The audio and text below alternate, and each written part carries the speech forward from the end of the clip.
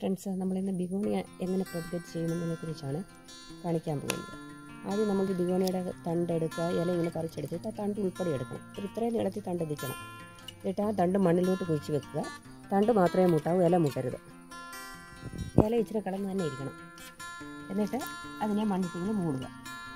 അത് കഴിഞ്ഞ് രണ്ടാമത്തെ രീതി എന്ന് പറയുന്നത് ഈ തണ്ട് ഫുള്ള് കളയുക. തണ്ട് മൊത്തം കളഞ്ഞിട്ട് ഈ വേറെ നമ്മളിങ്ങനെ ഒന്ന് കുമ്പിൾ കുത്തുന്ന പോലെ ഒന്ന് കുത്തുക. കുമ്പിൾ കുത്തിയിട്ട് അതിനിങ്ങനെ മണ്ണിലോട്ട് കുഴിച്ച് വെക്കുക. എന്നിട്ട് ചുറ്റിനും അങ്ങ് മണ്ണിടുക. ചുറ്റിനും മണ്ണിട്ടിട്ട് നടുക്കത്തൊരു സ്വല്പം മണ്ണിട്ട് കൊടുക്കുക. മണ്ണിട്ട് കൊടുത്തു കഴിയുമ്പോൾ അതതിനകത്ത് അങ്ങ് ഉറച്ചോളും. ഇങ്ങനത്തെ രീതി പിന്നെ എനിക്ക് ഏറ്റവും സക്സസ് ആയിട്ട് തോന്നിയിട്ടുള്ളത് ഈ തണ്ട് വെച്ചുള്ളതാണ്. കാരണം തണ്ട് വെച്ച് കഴിയുമ്പോൾ ഇലയ്ക്ക് ചീക്കൽ വീഴത്തില്ല. ഇല ചീക്കൽ വീഴാതെ തന്നെ ആ തണ്ടിന്റെ അവിടെ തന്നെ കുട്ടിക്കിളുത്ത് വരുന്നു. കൂടുതലും സക്സസ് ആയിട്ട് തോന്നിയിട്ടുള്ളത് തണ്ട് വെച്ച് തന്നെയാണ്. ഇലയാകുമ്പോൾ ഇത് ഇല അളിഞ്ഞു പോകാൻ സാധ്യതയുണ്ട്. അങ്ങനെ നമ്മൾ തണ്ട് വെച്ച് കിളിപ്പിച്ചാണ് രണ്ട് ഈ ട്വിസ്റ്റിന്റെ ട്വിസ്റ്റ് ഇതെല്ലാം തണ്ട് വെച്ച് കിളിപ്പിച്ചാണ്.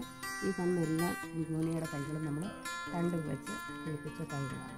നിങ്ങളിങ്ങനെ ഒന്ന് ട്രൈ ചെയ്ത് നോക്കുക. രണ്ടാമത് ഒന്നാമത്തെ രീതിയാണ് ഏറ്റവും ബെസ്റ്റായിട്ട് എനിക്ക് തോന്നിയിട്ടുള്ളത്. ഏതായാലും നിങ്ങൾക്ക് ബിരിയാണി ഉണ്ടെങ്കിൽ അങ്ങനെ ഒന്ന് പരീക്ഷിച്ച് നോക്കുക. ഈ ബ്രേവറി മോസം ഇതുപോലെ നമ്മൾ ഇത് തണ്ട് വെച്ച് കിളിപ്പിക്കാൻ ഭയങ്കര ബുദ്ധിമുട്ടാണ്. മീൻസ് തണ്ട് ഒടിച്ച് കുത്തുമ്പോൾ നമ്മൾ അതുപോലെ തന്നെ ഒരു ഇല ഇതുപോലെ മണ്ണി കുത്തി വെച്ചിട്ട് ബ്രേവറി മോസയുടെ നമ്മൾ അങ്ങനെ കിളിപ്പിച്ചാണ് ഇങ്ങനെ തേണ്ട ഇല ഇങ്ങനെ കുത്തി നമ്മൾ വെച്ചിട്ടുണ്ട്. ഇതുപോലുള്ള പരന്ന ഒരു ചട്ടിയാണെങ്കിൽ അതിൽ ഒരു അഞ്ചെട്ട് പത്ത് ഇല നമുക്ക് വെക്കാൻ പറ്റും. ഇതുപോലെ പരന്ന ചട്ടി ഉണ്ടെങ്കിൽ ജസ്റ്റ് സാധാ മണ്ണും ഇച്ചിരി കരി കൂടെ ഞാൻ ഇടും. കരി പൊടിച്ചിട്ട് ഇടും. ഇട്ടിട്ട് അതിനകത്തോട്ട് കുത്തി വെച്ചാൽ മതി. വളങ്ങളൊന്നും ചേർക്കണ്ട. വളങ്ങളൊക്കെ ചേർക്കുമ്പോൾ ചിലപ്പം ചീച്ചൽ ചീക്കലുണ്ടാകും ഇങ്ങനെ കുത്തി വെച്ച് കഴിയുമ്പോൾ ഇതുപോലെ നല്ല തൈയായിട്ട് തന്നെ കയറി വരും. ഇതെല്ലാം നമ്മളിങ്ങനെ തൈ വെച്ച് ഇല വെച്ച് പിടിപ്പിച്ച തൈകളാണ്.